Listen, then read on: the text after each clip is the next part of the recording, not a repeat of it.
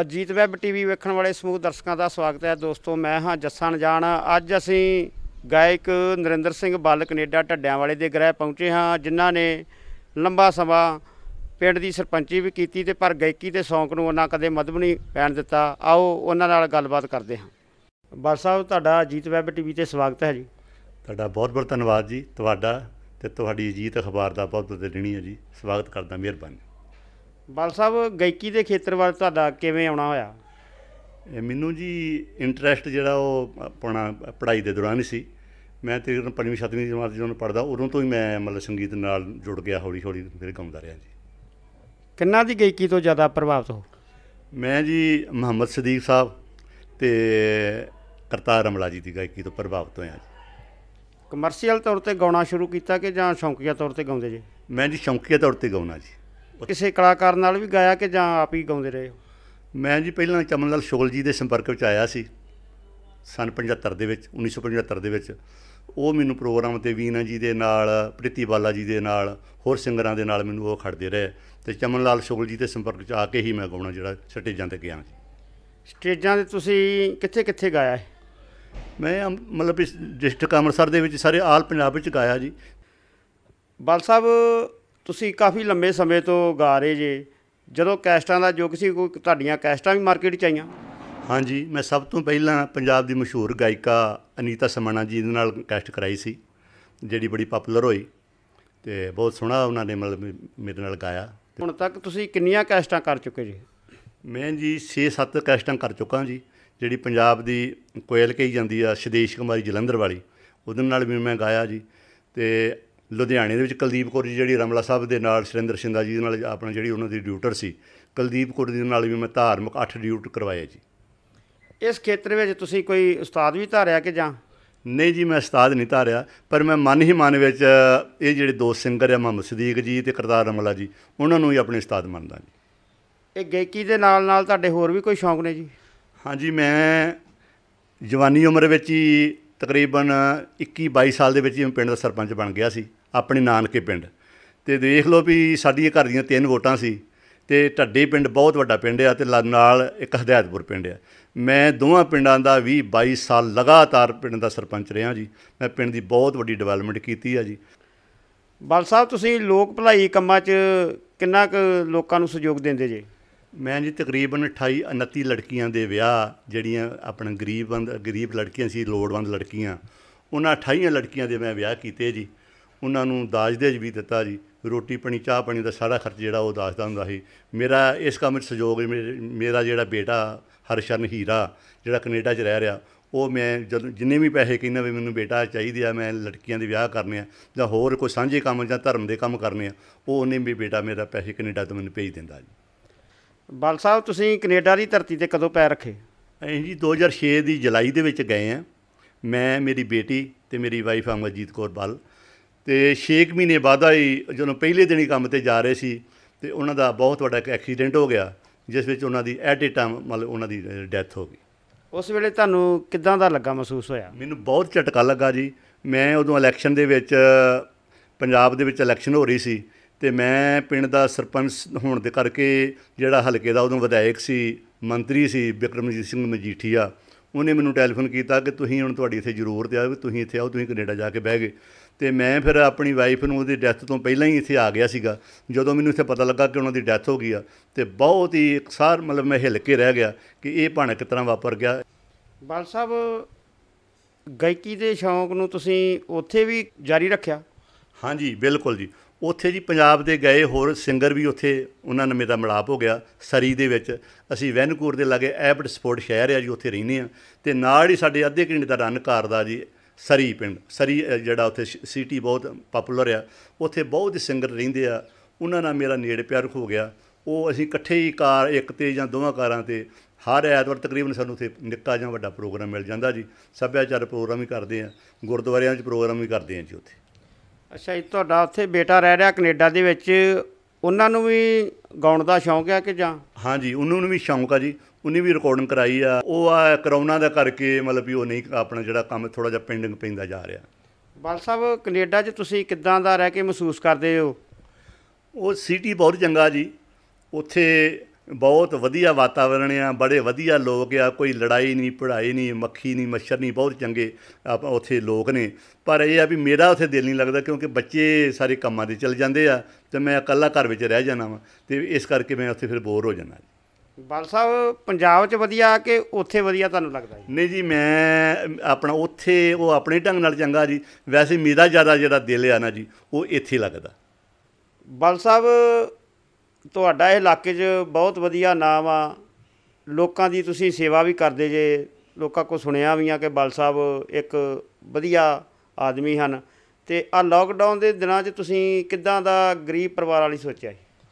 ਮੈਂ ਜੀ ਆਪਣੇ ਤੌਰ ਤੇ ਮੈਂ ਦੋ ਵਾਰ ਮਤਲਬ ਵੀ ਜਿਹੜੇ ਮੈਂ ਸਮਝਦਾ ਵੀ ਬਹੁਤ ਗਰੀਬ ਆ ਤੇ ਬਹੁਤ ਮਾੜੇ ਲੋਕ ਆ ਮੈਂ ਪਰਸਨਲ ਤੌਰ ਤੇ ਮੈਂ ਗਵਰਨਮੈਂਟ ਵੱਲ ਨਹੀਂ ਵੇਖਿਆ।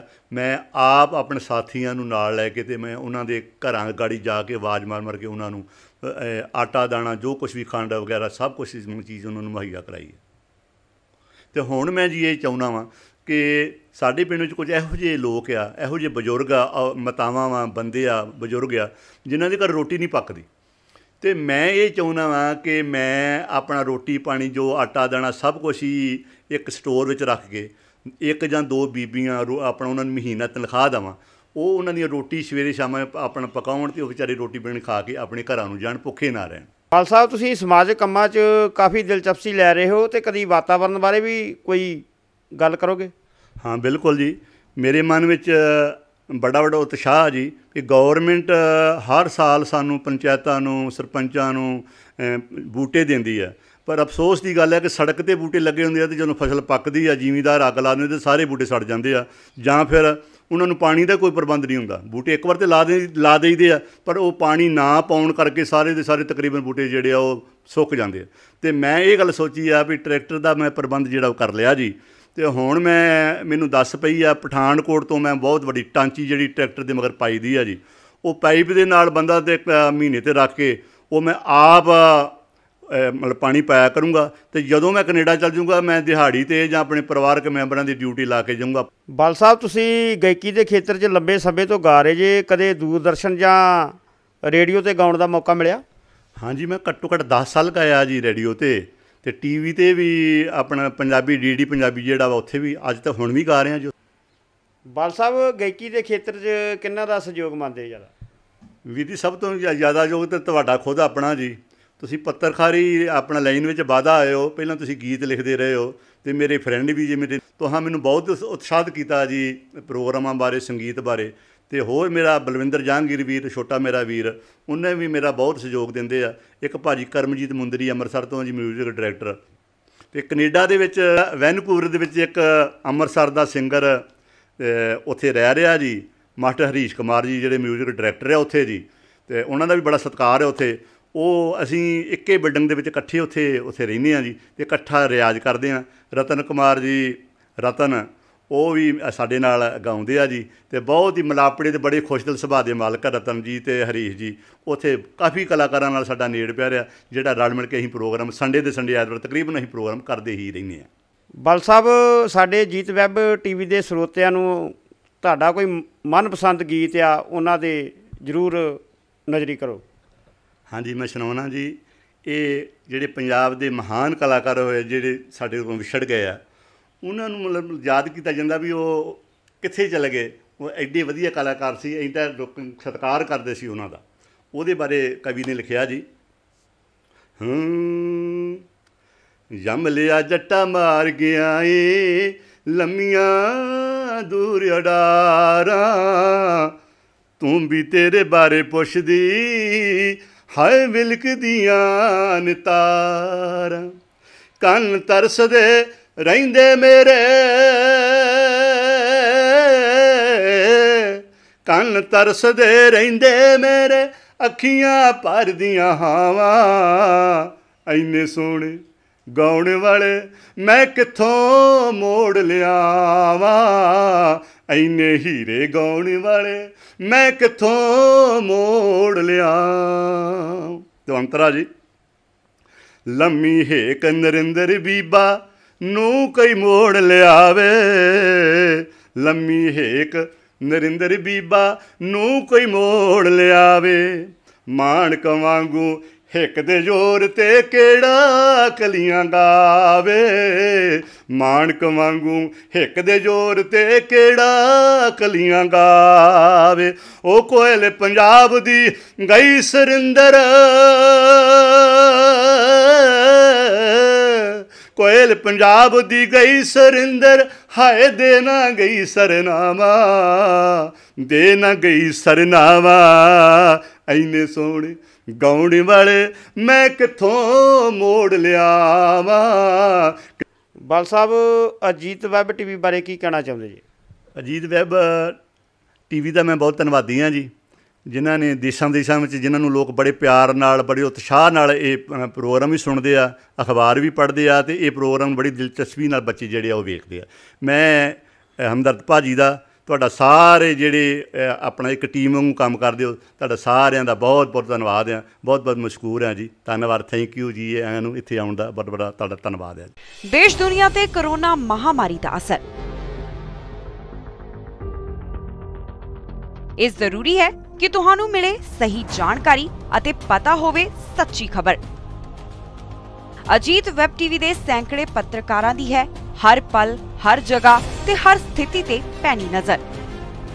ਪਿੰਡ ਕਸਬਾ, ਸ਼ਹਿਰ ਹੋਵੇ ਜਾਂ ਦੇਸ਼ ਵਿਦੇਸ਼, ਅਸੀਂ ਜੁੜੇ ਹਾਂ ਤੁਹਾਡੇ ਨਾਲ ਅਖਬਾਰਾਂ ਤੇ ਸੋਸ਼ਲ ਮੀਡੀਆ ਰਾਹੀਂ। ਕਲਮ ਦੀ ਤਾਕਤ ਤੇ ਵੈਬ ਟੀਵੀ ਦੇ ਮਾਧਿਅਮ ਦੇ ਨਾਲ ਹਰ ਜਨ ਤੱਕ ਪਹੁੰਚਾਵਾਂਗੇ ਹਰ ਮਨ ਦੀ ਆਵਾਜ਼। ਹਰ ਆਮੋ ਖਾਸ ਤੇ ਹਕੂਮਤ ਨੂੰ ਵੀ ਕਰਾਂਗੇ ਸਵਾਲ ਜਵਾਬ। ਆਪ ਨਹੀਂ ਤਾਂ ਪਹੁੰਚੇਗੀ ਸਾਡੀ ਵੀਡੀਓ ਕਾਲ ਅਫਵਾਹਾਂ ਤੋਂ ਬਚੋ ਅਤੇ ਸੱਚੀਆਂ ਤੇ ਸਹੀ ਖਬਰਾਂ ਦੇ ਲਈ ਜੁੜੇ ਰਹੋ ਅਜੀਤ ਵੈਬ ਟੀਵੀ ਦੇ ਨਾਲ।